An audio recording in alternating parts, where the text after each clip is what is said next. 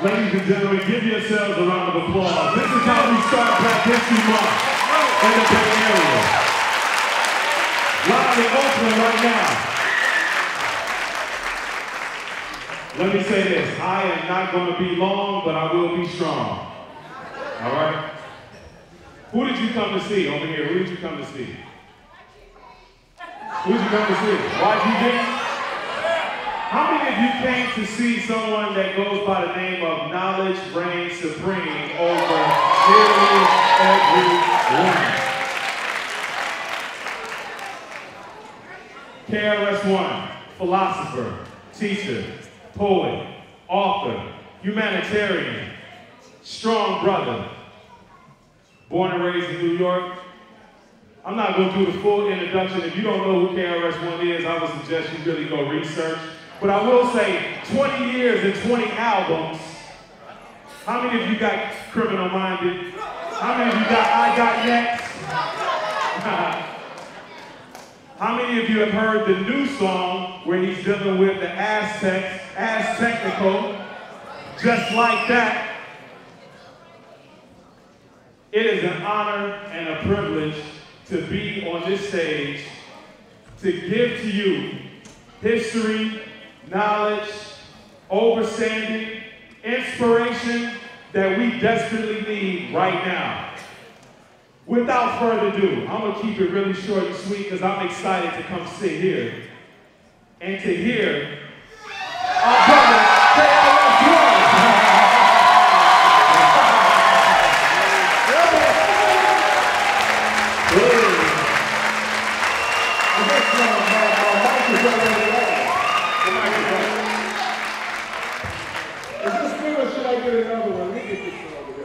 One, two, one, two. First of all, how you guys doing? Thank you for having us today. Yes!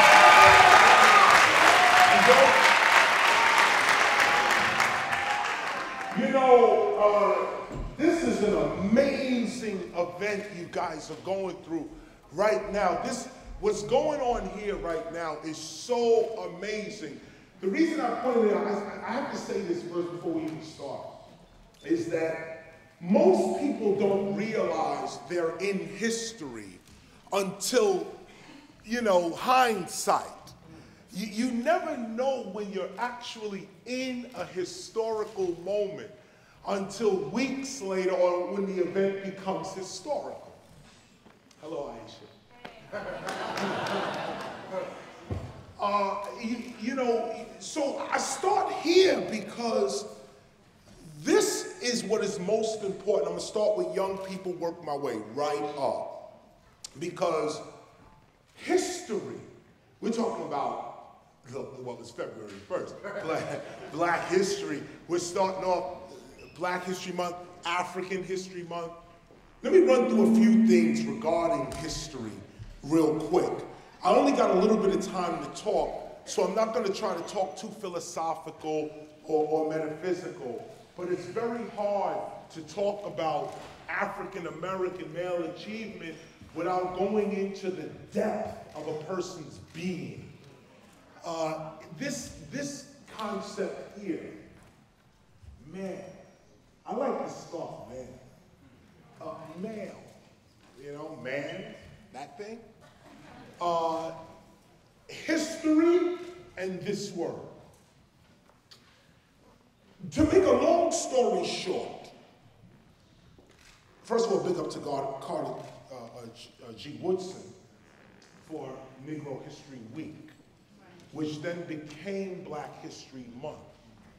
And it's a shame. This history, this, this month has a bittersweet to it. Because in one breath, why do you have to have a month dedicated to the teaching of African history.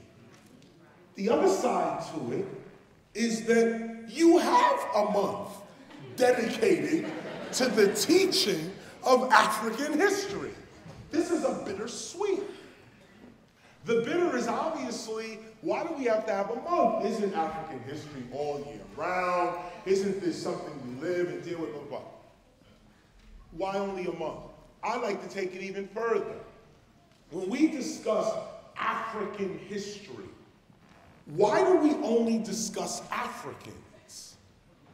Now, ride with me here.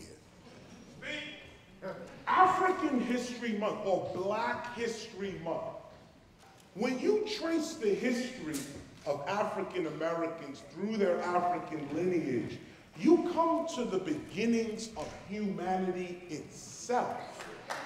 You come to,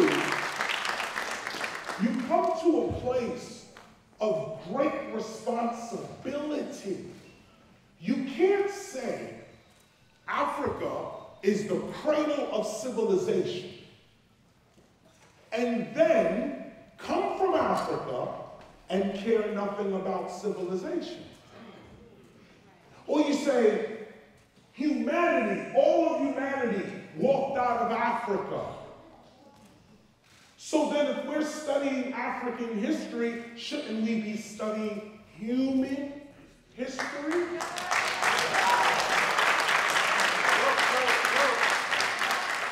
There's, there's a responsibility to being an African. It's not just about your great achievements. It is, but it's not just about. It is also about your responsibility. Now, if you are truly of African consciousness, at least in February, you should at least during this time, I'll put a spin on it and say, of course, you should study your African history, study African American history, fascinating history. But if you are responsible for the African American lineage, if you are responsible for the heritage and the reason that the month was even created, then we're going to have to update our study of Africa. African American male achievement. In history, we've been studying African history as only black people through certain periods of time. And this is also incomplete. Because during African history, we should discuss the entire human race. And here's why. Because there was never a time in human history that Africans were not all over the world at once. Never a time. The beginning of, and I wouldn't say recorded history, just the beginning of history, which is also oral. You have you have a responsive, you have two types of human. One type of human says, I'm only worried about me and mine. Another type of human says, I'm not having no fun unless the is having some fun. One person wants it all for themselves. Another person wants to share. One person feels good that they have it all to themselves. Another person feels great when they share. The question with this word here, man, has to do with your ability to share. People think that manhood is about only about protection and provision. I will provide and protect. And that makes me a man. But we are now in the 21st century. The old version of male doesn't work anymore. You guys have internet now, computers. Wow. The male of 20 years ago is not the male of today. I don't know, many of you might not know if this guy. His name is Stokely Carmichael. He was, uh, he changed his name to Kwame Ture. And he led a, a, a, an organization called the All African People's Revolutionary Party. Now, in the 90s, I was touring with Kwame Ture. We were doing lectures. And one thing he told me, I'll share with you right here, because it goes to this word, African American male. I asked him, I said, you know, we hear all kinds of stories about the civil rights movement and what was really going on and the counterintelligence program, FBI, all that. What really happened? You know what he told me? This is gonna shock y'all, but maybe not. He said there were two problems with the civil rights struggle. Two. Only two. First one. Never again, he said, should there be one charismatic leader. That from now on, our children have to be all trained to be leaders. That's right. Yes. All. That's one. In the 60s, 50s, even 40s, you had one charismatic leader and everyone followed that. That can be no more. Everyone must lead now. Here's the other one. He said the number two thing we kept our women in the kitchen and the bedroom. Oh, this is getting deep now. oh, yeah. Number two problem with the civil rights movement. Women were not given a voice. Number two problem. People don't like talking about it, but I'm going to hit you with it now because it relates to this word here. If you can't respect women, you are not a man.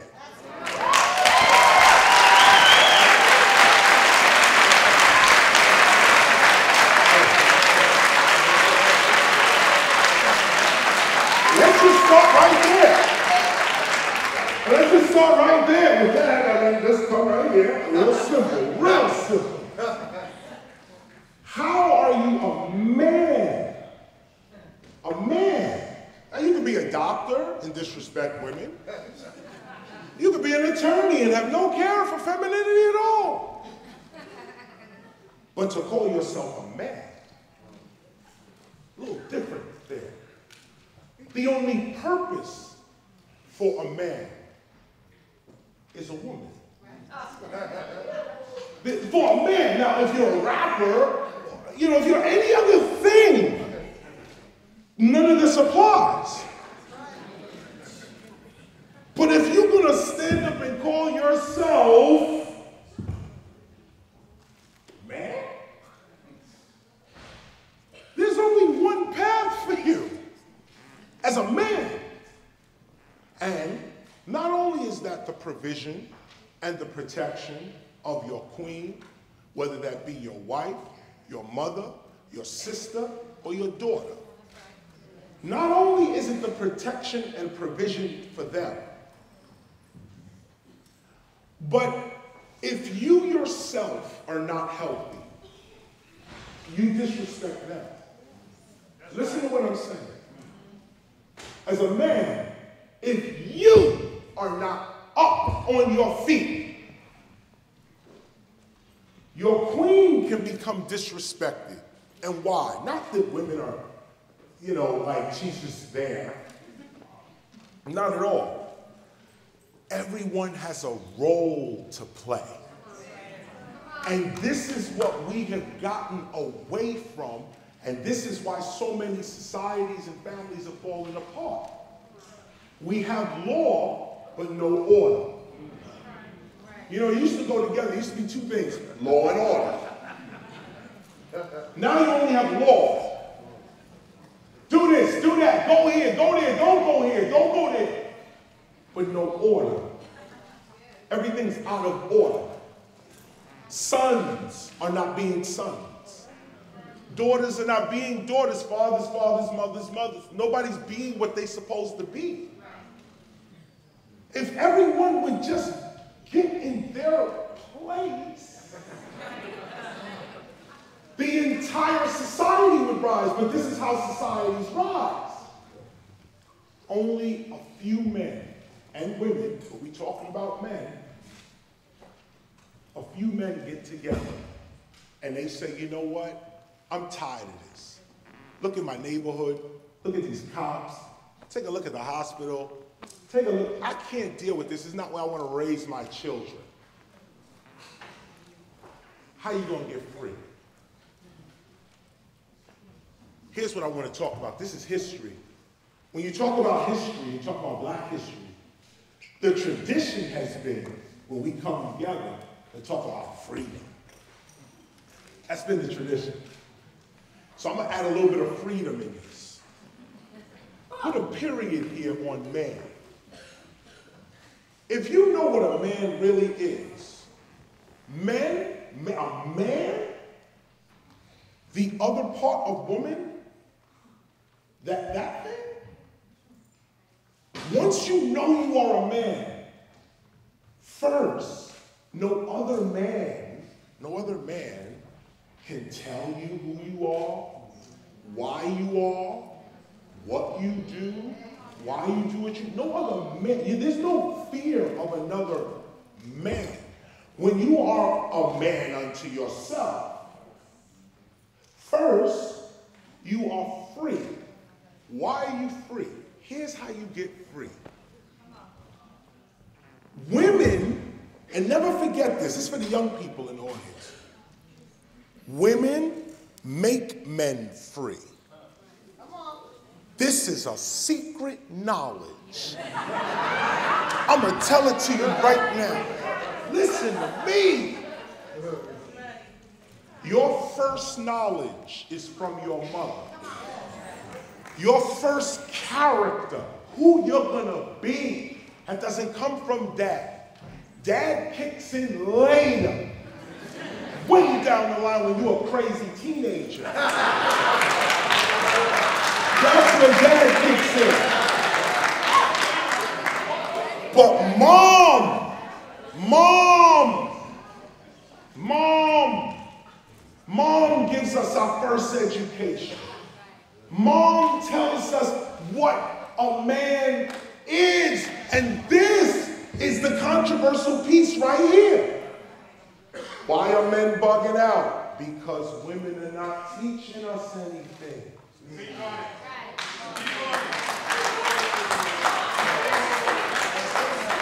We are in a society where we believe that men lead the society. That's, the, that's not true. That's just wrong. In every society on the planet, it is led by women. Every indigenous culture, every, every civilization, just do the homework. It starts with the woman at the center of the family. All the boys in the family praise the woman or the mother in that instance. All the daughters and the sisters are trying to be like the mother, the matriarch, trying to be the mother. The mother is the wealth of the family. She owns the land, she owns the house. She gave you your knowledge. She's the nurturer. She's all you got. But what happened? Now you're in a society that tells you that women are less and men are supposed to be on top and leading everything. This is the problem with African American male achievement. Right here. We're being taught by a westernized education that puts men on top. Now, if we're brave enough, if we're brave enough to really look at the truth and say, during African History Month, and during a conversation like African American male achievement, the greatest achievement an African American male could ever experience, the greatest achievement that an African American male can experience is a wife.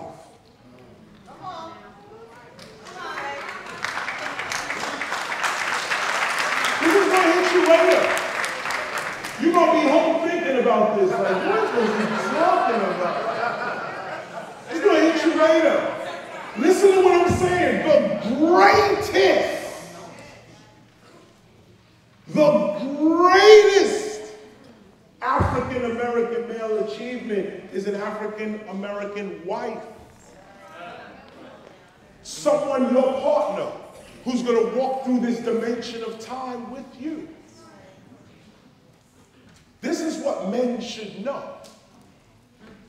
Not that you need to chase after women, not that you need to not be an independent man, but the joy of being married over 10, 15, or 20 years is in, you don't experience life. Speak on it. you, you don't experience life without someone you can trust. If you go through life with no one on your side that you can trust, you really don't succeed in life. Or, or when I say this, you'll succeed in your career, but you won't succeed in life. You'll succeed in your career, yes you will. But your life, which is should be most important to you, this is what I'm talking about. I would suggest everyone here, when you leave here, especially the men, men, when you leave here, just as an exercise, reconcile with a woman. You know, this is the strength. You know, men can live all kinds, so we talk about being strong. You want to break a man down? Apologize to a woman tonight. Some you know you did. Some you know was crazy. And you've been holding it, and she's been holding it as the man. As the man. If you want to honor African History Month, honor our discussion today, engage your woman. Encourage your woman.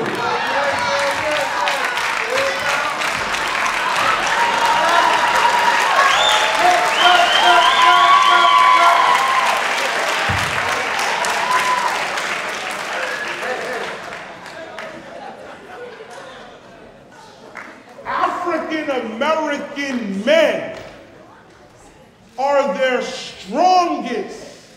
They're at their strongest when their women are confident, when their women are strong.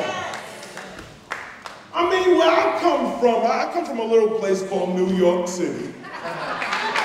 Little spot, a little island, broken up into five boroughs. And when I was growing up, a message to all the women here. I was, of course, my story is classic. No father. I'm born in uh, Brooklyn in the 60s. My mother, her name is Jacqueline. She had two kids, me and my brother Kenny. Man disappeared. There she is with me and two kids, uh, two, um, uh, her and two boys. She's raising us. She's terrified because she's a single parent, and she's a single parent in the 60s, which was another issue. But she's a single parent, and she has these two boys, and she's praying every night. And I would say this to all mothers in, in a similar situation uh, in, in, in that sense. If you are strong, your kids will be strong. If you strong, they strong. And I know this firsthand because I lived a poor life, man. My mother didn't have nothing. I mean, I don't know how many of y'all know about, you know, having welfare and working at the same time. And you're not supposed to. You know, like that, you know. And like, my mother did it all. She drove cab. I mean, she did it all. And me and my brother, we were we was proud of her. You see, look at what I'm saying to you. This is this is African American male achievement. We didn't look up to men. We was trying to compete with them. I'm a being dad. That we, that's men. We look up to our mother. Everybody in the hood looked up to their mother and looked up to your mother. When your mother walked down the street, your man was like, yo, there's your mom. yeah. Straighten up. You know, everybody respects the mother. The mother. So to put a period here, if there is one thing to achieve, to teach our children, and to also acknowledge during this month, I would point it to women. I would put women at the center of the family. I would have men surrounding women. Women should be thinking for their families. They should be working for their families. They should be protecting their families. This will show the young boys what they're supposed to be doing. It's the mother that teaches the son, the young man, how to be a man. So, mothers that are in the audience today, this African American male achievement is more for you than it is for any black man in here. It's more for you. You are the reason why we're stumbling. You are the reason why we built the pyramids. You. You are the reason. Now, as a man, if you can adopt this kind of psychology, where when you walk up to a woman, you see her as a goddess, not a queen, a god, deity in front of you. Many people say, I'm praying to God. I want to be in the presence of God. I'm on a journey to find enlightenment, oneness with God. All you got to do is thank a woman. All you have to do is empower a woman, and that woman will empower you. It is very simple. I know I'm talking to women in the audience. Very simple. Now, that's half my time. About 10 minutes. Let's talk about hip hop. African American male achievement. I got 10 minutes. Hip hop. Hip hop began in 1973 in, a, in the Bronx at a place called 1520 Sedgwick Avenue in the Bronx. A Jamaican dude named Kool DJ Herc came from Jamaica in 1967. Uh, well, first of all, Jamaica gets its independence in 1962. Then you have this immigrant, this immigration of Jamaicans and Barbadians and Trinidadians and Haitians and Cubans and people are coming into the United States. And what they're bringing to the United States is a forgotten African vibe that American blacks forgot. It started with a guy named Marcus Garvey. Marcus Garvey, another Jamaican, comes to the United States preaching African unity. All black people, let's go back to Africa, unite the whole of Africa, and start our own nation. Three million African Americans agreed with him. They started the largest movement you can imagine. Of course, he got deported eventually because the FBI wasn't having that. And neither was the NAACP. So at the end of the day, uh, Marcus Garvey's movement goes out, and this is hip hop. Marcus Garvey's movement goes out about starting a black nation. And even though it is called a black nation, the, the premise of this nation is really all of humanity, which is what blackness is. It's what African is. Africans in Africa never called themselves Africans. They called themselves human beings. They didn't know what African is. If you went, went to ancient Africa and said, Africa, they'd say, they point you toward Europe. this concept of African, the African consciousness, is a divine consciousness. It's not a human consciousness. Human comes later when you start getting different cultures, ethnicities, this, that, and the other. But if you just dig to the deepest core of African or whatever, Asian, European, anything, you dig to the deepest core of it, it's consciousness, it's spiritual, it's non tangible, you can't touch it. And so Marcus Garvey comes out with a consciousness raising movement. This is important. There's no land to go get other than Africa, but there's no, there's no place for you really to be. It's something for you to be. Marcus Garvey, his movement goes out all over the United States. He influences, he influences a small uh, family in Nebraska, uh, the Little family, uh, in uh, Nebraska, and um, they have a, this family produces Malcolm X. Um, uh, obviously, his mother, I'm struggling for their names, uh, Malcolm X's mother and father were Garveyites. Uh, and they were studying, they were actually organizing for Garvey in Nebraska. And it was the Klan that came to Malcolm X's father and said, you know, you continue this uh, type of uh, activity and we're going to kill you. Of course, he put the middle finger up and he kept doing his thing, and they killed him eventually. They threw him in front of a train, and a uh, train hit him, ran him over. And his, Malcolm X's mother went crazy. She couldn't deal with that. So they locked her up in an insane asylum. Malcolm's father's dead. So Malcolm now becomes this person with this hatred for white people. He's like, look, you killed my father, you sent my mother to an insane asylum. I'm going all out right now. So he, I guess his going all out was to date two white women. Uh, and so Malcolm found himself robbing apartments with these two white chicks with him.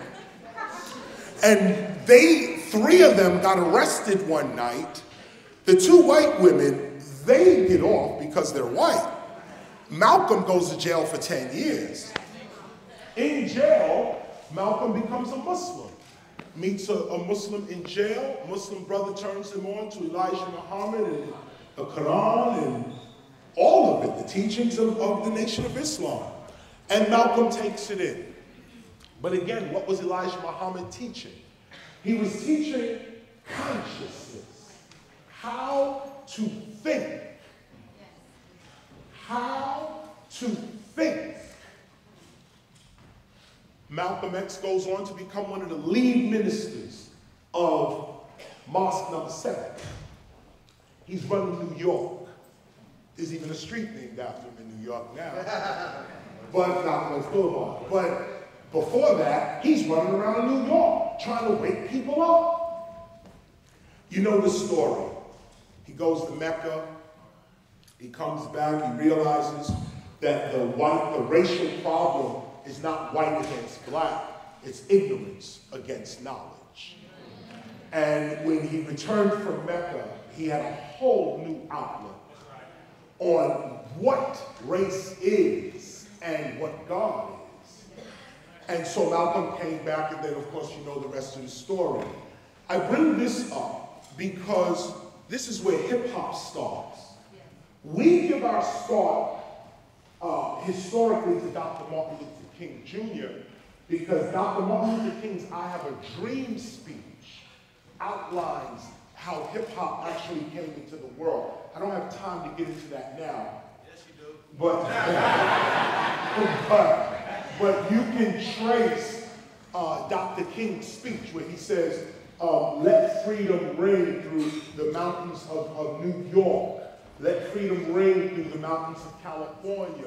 Let freedom ring through Atlanta. Let freedom ring in the world. When you look at the I Have a Dream speech, he outlines every place that hip hop was to go prophetically. Uh, when you look at it. The point is, though, and that's why we give our origin to Dr. King, but Malcolm X, Stokely Carmichael, the Black Panther Party, uh, these groups was more about changing your thinking than trying to conform to an American mainstream way of life. This is what we have to remember during Black History Month. There are two Black histories. There's the mainstream, Black history, and then there's the struggle. The struggle is where hip hop comes from. We were the forgotten of our people. Hip hop is not all black. Don't get that twisted. That's mainstream. Just trying to make hip hop all male, all black male, because that's what white mainstream wants to see. But hip hop began with all kinds of people involved in it. Obviously, the fathers and mothers of hip hop are jet black Africans. Kool Herc, Afrika Bambaataa, Grandmaster Flash, Dougie Fresh, I mean, just black folk. but when you talk about culture, not rap music, but when you talk about culture, you start to look at hip hop a little different. It's not just about rapping. It becomes what are you the lineage of? Where do you come from? What's your point of view? What are you standing on?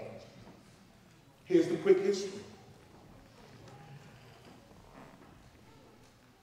In 1973, Kool Herc comes out and he's playing James Brown records. One of his uh, songs that Young Wicked Black is say, saying, he said, say it loud, I'm black and I'm proud. That's James Brown. Uh, and another guy named Alfred Ellis. James Brown, Alfred Ellis wrote this song called Say It Loud, Black and I'm Proud. This song comes out actually in 68. It's still hot in 2012, but it's still hot in 73. And Kool Herc is playing this song. Say it loud. And mind you now, try to get this in your head. We are outside. We are in the park. We are in a playground park. And a DJ brings his equipment out, two turntables, and it wasn't even a mixer, it was like an amplifier in the middle there. And he would play James Brown, say funky drum. A one, two, three, four, hit it. Boom, boom, bop, bop, bop, bop, bop, bop, bop. And he'd lift the needle and drop it again. And it would play again. One, two, three, four, hit it. Boom, boom, bop, bop, bop, boom, boom. One, two, three, four, hit it. So while this music is doing this, and Kool Herc is dropping this needle, stopping the record, playing it again, doing this thing, there's a female on the mic named Pebblee Poo. And she's doing it. This is the first female MC ever. She's still around. She works for Verizon. Crazy.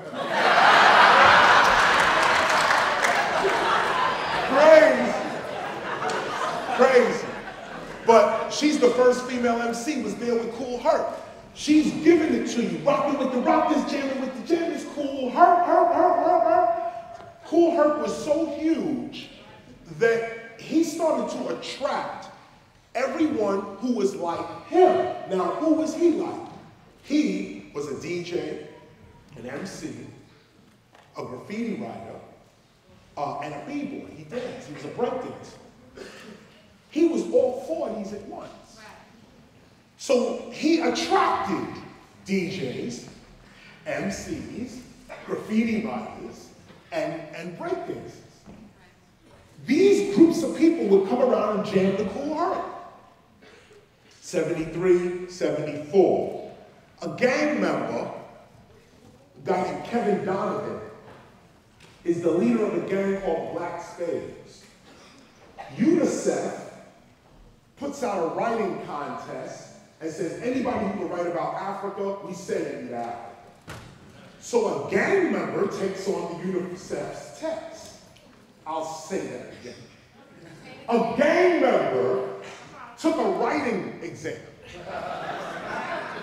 Went in with the jacket on, sat down, took a writing exam about Africa. One, hands down, beat out the entire city. Gang member. Beat the whole city.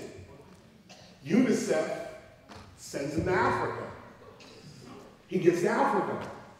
The Zulu chief there says, you African Americans are doing the same thing we Africans have been doing here for years. It's called tribal warfare. You kill him for your block, he kills you for that block. All y'all doing, you don't see that this white dude is controlling everything. Afrika Bambaataa took that in. Now notice what I just said. Kevin Donovan went to Africa. But it's a guy named Afrika Bambaataa that heard the lesson. Kevin Donovan died in Africa. He became this guy named Afrika Bambaataa. And this guy came back from Africa. He's the leader of the biggest gang in New York called the Black Spades. He gains consciousness. He comes back to New York and he says, gangs are over in New York. Look at what I just said. We can't even do that today. He goes back to New York. Imagine, he's one gang. He's the Black Spades. You got the Savage Skulls, Savage Nomads, Young Skulls, this one, that one, the other. He's one gang. He comes up and says, you know what? I just got back from Africa. We're all bugging. We're all bugging. We need to stop this. And here's the other part. Every other gang leader agreed. They agreed. And in New York, gang violence ended overnight. 1974, they started an organization called Zulu Nation. Zulu Nation was all the gangs in New York putting colors down, putting guns, knives down, and now the way we was going to settle our differences was through art. This was genius. This was genius, and it was going on on the street level. These are street dudes thinking like this. So now, this thing Kool Herc was doing attracting b-boys, MCs, graffiti writers. Afrika Bambaataa took that whole group and said, okay, here's why we doing this. We doing this for peace, love, unity, and fun. That's the reason we do hip hop. For peace, love, unity, and joy. That is the only reason to do any of hip hop's elements. If you do an element, you rap, you draw, you break, whatever you do, if it's not leading to peace, it ain't hip hop. If it's not leading to love, it ain't hip hop. If it's not unifying your people, it ain't What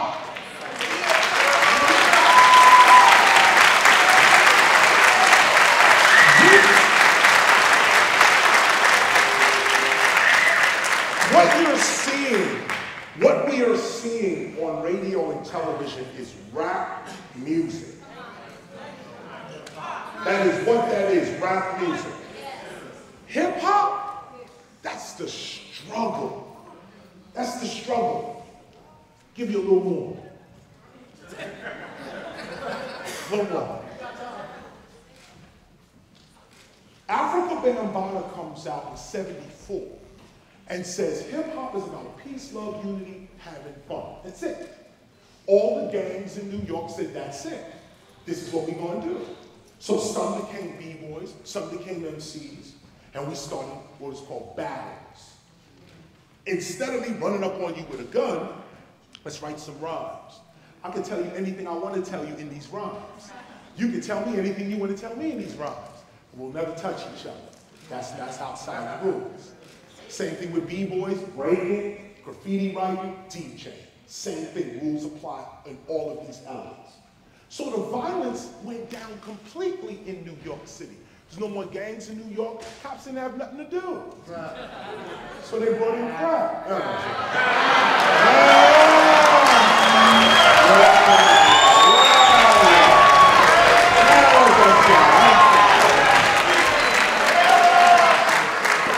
Sorry, I just slipped in for a minute. I just went off into something else.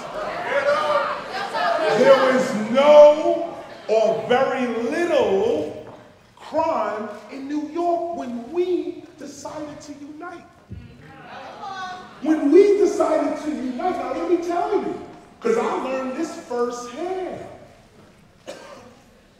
The police, this is law, never forget this. The government has no right to give you a law that is against your culture and against your principles. Listen to this. No government on earth is going to walk into a neighborhood and tell that neighborhood what it's supposed to be doing. That's not the truth. The government only comes into neighborhoods and tell people what to do when the neighborhood is disorganized. If you look at every neighborhood that's organized, they set their own rules. You have a constitution, you have state law, city law, you have ordinances, traffic laws, you have all of this. But a community, a tribal law is the first law. It is the most important law in law. It's that primal law. It's your inalienable right. It's who you are as a person, which defines yourself to the law. So listen to what I'm saying here. And, and, and, and young people, remember this book. It's called Black's Law Dictionary. Black's Law Dictionary. Has nothing to do with being black. Just the author's last name is Black. Black's Law Dictionary. Look up police. Look up law enforcement. Look up words like, yeah, like police, policing, and law enforcement. These are different terms. Every citizen is a law enforcement officer. You are not the police. The police are hired by the government to bring order to disordered communities. That's why the police exist. If your community was organized and you set your own law, the police would have to obey your law when they came in your neighborhood. I learned this firsthand with hip hop. Check it. When we was on the corner rapping in the parks, the police would come by and arrest us for loitering. They used to say, you're loitering. We said, we on the corner there, we, we rapping, we doing. No, you loitering, get off the block. In 1979, when rap, a song called Rapper's Delight came out by the Sugarhill Gang. Now imagine, from 1973 to 1979, rock music was illegal. It was illegal. If you did it on the corner, you was loitering. And you was told to get off the block or you get a ticket for rapping. Okay. And, and, and wait a minute, this is also documented in a movie called Beat Street where uh, Lee, the guy who's playing Lee, gets arrested in a subway for dancing. They documented it in that way, but that's what was going on with hip hop. If you just doing your b-boy moves in the subway, just practicing, the cop would come over and say, what you doing? Dancing. From 73 to, to, to 79, you couldn't do hip hop in the public without being called something. When Rapper's Delight came out, now you can do hip hop in the public. Here's why. Rapper's Delight sold 10 million copies. Here's the first lesson we learned. Legal and illegal is only a matter of who's in power.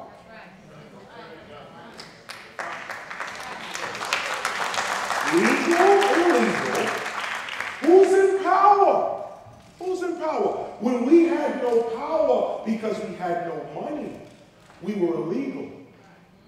When Rappers Delight sells 10 million copies, we're legal now. And we're legal only because we're making money for corporate America. Now, do you understand where I'm going with this? When we're not making money for them, we're illegal. When we making money for them, we legal. When we not making money for them, our music is offensive and obscene. When you getting tens of billions off our music, this is it, it's a it's the number one record in the country. This right here was the first game played. Right here. First we illegal. Now we making money, we ain't illegal no more. Okay, lesson one learned. Legal and illegal is based on rich, poor. Who's in power? But we learned quickly that it wasn't just money that was the power. It was definition. The point here is this. The stories that you tell about yourself and about your environment is what makes you rich or poor.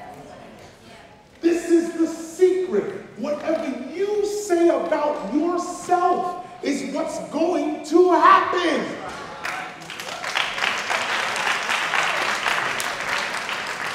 This is why, this is why you hear rappers all the time talk about money. I got this, I got that, you ain't got nothing. rappers always talking about what they got. A good example is the song Rapper's Delight. You got three guys from Jersey. And these guys, Big Bank Hank, Wonder Mike, Master Gee. And they're saying, I got a Lincoln Continental and a sunroof Cadillac. So after school, I take a dip in the pool. They didn't have none of this. None of it. When they that record, they didn't have none of this stuff. But check it out. After the record was recorded, they it.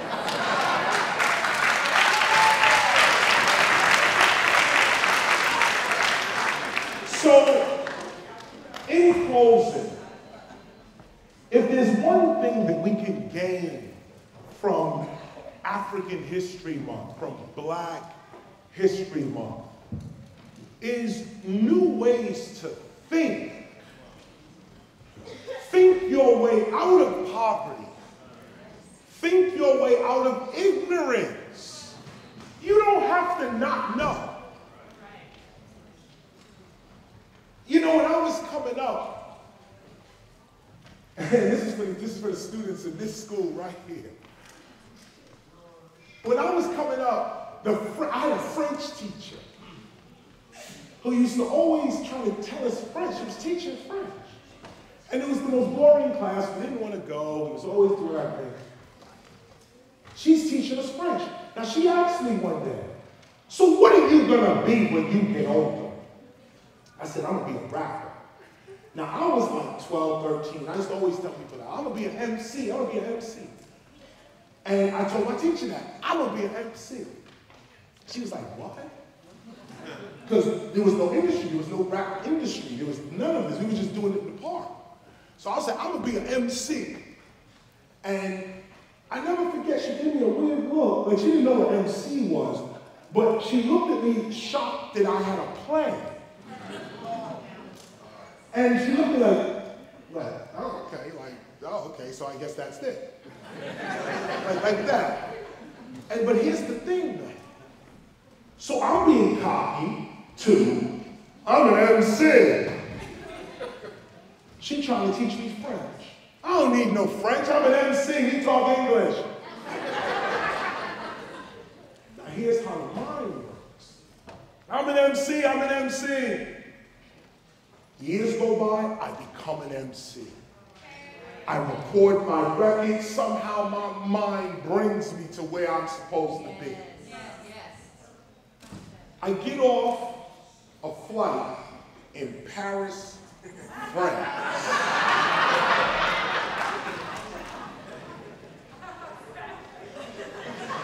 I never forget this.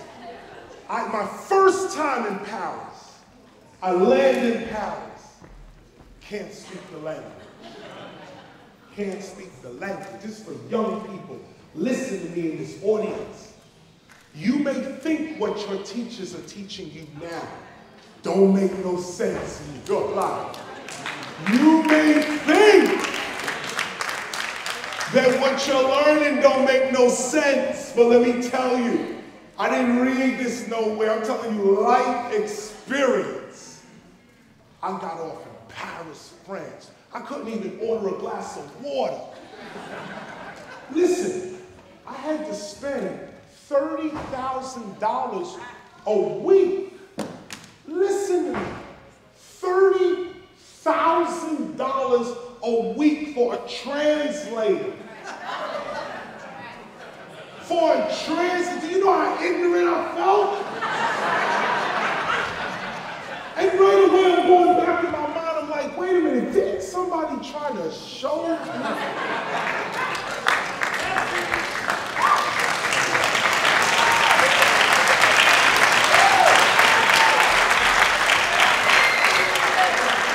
I'll say this, and this is just what I want to say in closing, is that education doesn't mean anything if you're not going anywhere. Drop out of school. School don't mean nothing if you ain't going nowhere. But if you going somewhere, this is the place to be. This is the place. If you're not going anywhere and you know you're not going nowhere and you say, I ain't going nowhere, then how, most what I said here today doesn't apply to you and neither does this school. But for those that are going somewhere, people who gotta go, someplace to go, you know you, you know you are not poor in your heart. You know in your heart this is not your condition and you're trying to think your way out of it. That's why you're here tonight. Let me tell you, God will not be mocked. You are here for a reason. Your steps are ordered. Every move you make, and I'm going to end it on this. I'm going to end it right here.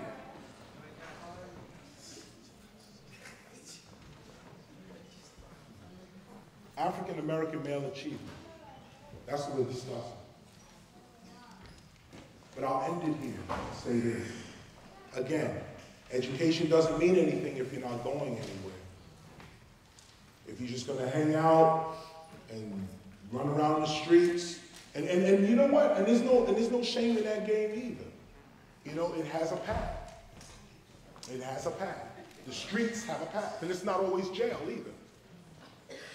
But it's not, it's not the higher aspects of how you can live. You live right now in a prison. We all do. It's a prison. Cities are prisons. That's what this is. Matter of fact, to be more accurate, it's not even a prison, it's an experiment. It's like an insane asylum. That's what, that's what cities are. They're like insane asylums. And you look around, it's, it's, it's like we're having this mad experiment about how to keep, how, how does humans develop, and what happens if you throw this human in with that human, and what happens, and people are experimenting. It's called social sciences, social engineering, the new world order. That's what this is. And those who really know what time it is, like you can't waste your time. And I'm not talking about adults in the room. Y'all know, y'all here. But the young people in this room, if you don't respect your teacher, you can't respect no one in life. Because everyone, everyone is a teacher. Teaching is the first profession. And before you can learn anything, you have to be taught it. Teaching, the idea of a teacher is something you're going to see over and over and over again in your entire life. If you got problems with your teacher today, I advise you to get over those problems because your teacher is a reflection of a person in society you're going to have to get around. To the young people in the audience, your teachers are human beings. They get aggravated, they get tired, they are joyful, they get depressed. The best teachers have the best students.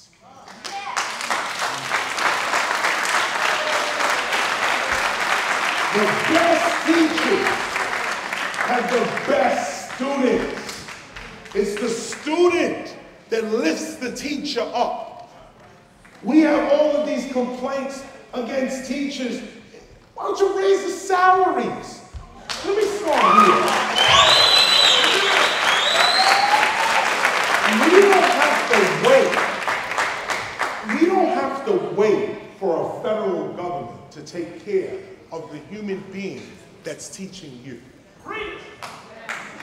If you care anything for your teacher, deny yourself that, that Friday night dinner. Deny yourself that movie or whatever your pleasure is and give that money to your teacher. This is young people. I'm telling young people straight up. Young people straight up. Support your teacher. Like, get in the habit of thinking like that. Like, when you go to McDonald's, buy your teacher some fries. like, straight up. Like, you know, think about the person that is making you better. Think about that person. And so that's my conclusion. And uh, happy Black History Month.